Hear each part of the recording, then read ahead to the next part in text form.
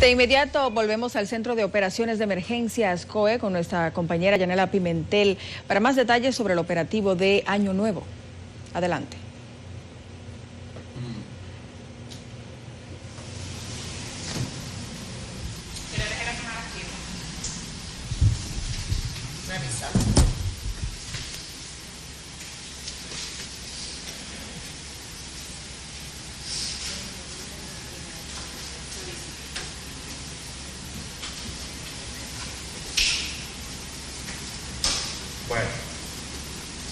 Vamos ahora a transmitir en vivo para CDN un especial.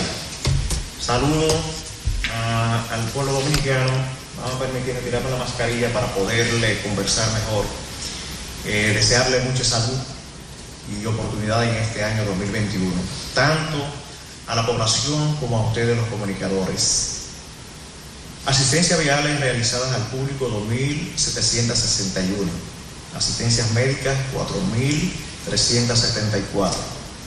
Eh, La Comisión Militar y Policial del Ministerio de Obras Públicas y Comunicaciones se realizó 1.776 asistencias vial, las cuales consistieron en cambio de gomas, combustibles, remolques y asistencias mecánicas. El Instituto de Tránsito y Transporte Terrestre, Intran, realizó 166 inspecciones de intersecciones. La Dirección General de Seguridad de Tránsito y Transporte Terrestre, DGC, realizó 4.353 fiscalizaciones. La Defensa Civil mantiene funcionando 294 puestos de socorro. El Servicio Nacional de Salud eh, informa de 4.725 atenciones médicas. El Ministerio de Salud, 1.476 intervenciones en lugares con alta concentración y 636 inspectores del COVID-19. Eh, la entrega de 8.000 kits de higiene personal. El Cuerpo Especializado de Control de Combustibles realizó 39 inspecciones. Se han registrado 57 accidentes de tránsito durante la segunda fase del operativo. De estos, 32 en calles y avenidas, 25 ocurrieron en autopistas y carreteras. De los 57 accidentes registrados, 49 involucraron motocicletas.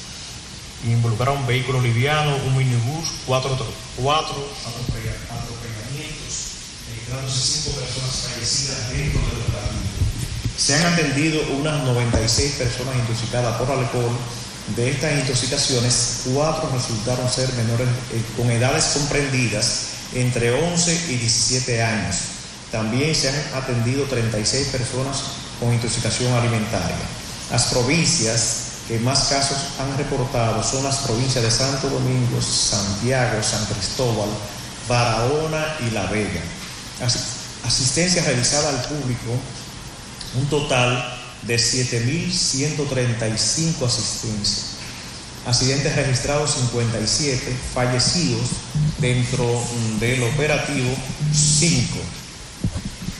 Afectados por accidente de tránsito 74, intoxicación alcohólica 96, intoxicación alimenticia 36. Cuando hablo de intoxicación alcohólica 96 es personas afectadas y la alimenticia también, 36 personas afectadas.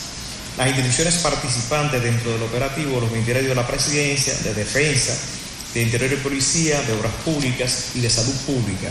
También el Instituto Nacional de Tránsito y Transporte Terrestre Intran, la Dirección General de Comunicaciones de la Presidencia DICOM, el Plan Social de la Presidencia, el Sistema Nacional de Atención a Emergencia y Seguridad 911, comedores económicos, Defensa Civil, Policía Nacional, Dirección General de Seguridad de Tránsito y Transporte Terrestre DGC, CESTUR, INACID, ONSA, Promese, OPTI, la Cruz Roja, los cuerpos de bomberos, el Indotel, Rental Visión, Comipol y SECOM.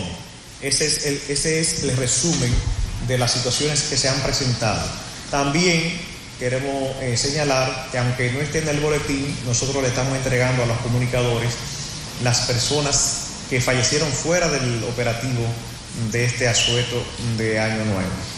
Eh, ahí están eh, los datos de todas las situaciones que se han presentado en el país con relación a las tres variables que atiende el Centro de Operaciones de Emergencia, que es prevención en accidentes de tránsito, intoxicación por alcohol y alimentos.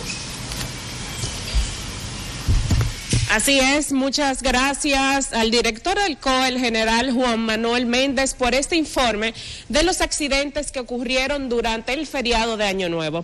Precisamente, según lo que él acaba de aclarar, se produjeron 14 muertes por estos accidentes.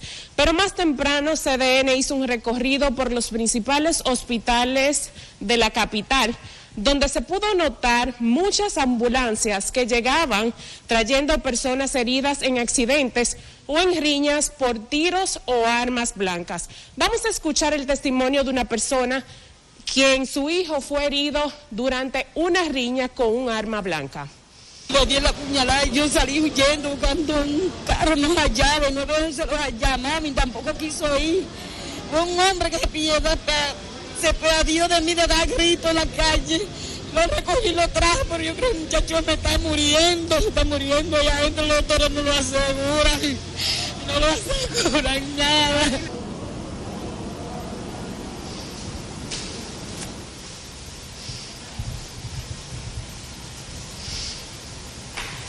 Y todavía falta la tarde y la madrugada de este día donde las personas continuarán posiblemente festejando y algunos sin respetar los horarios del toque de queda. Más adelante traeremos más información de todo lo que acontezca en el país, de todas las situaciones que ocurran. Esa es toda la información desde el Centro de Operaciones de Emergencias. Ahora retorno con ustedes a los estudios. Gracias, Yanela.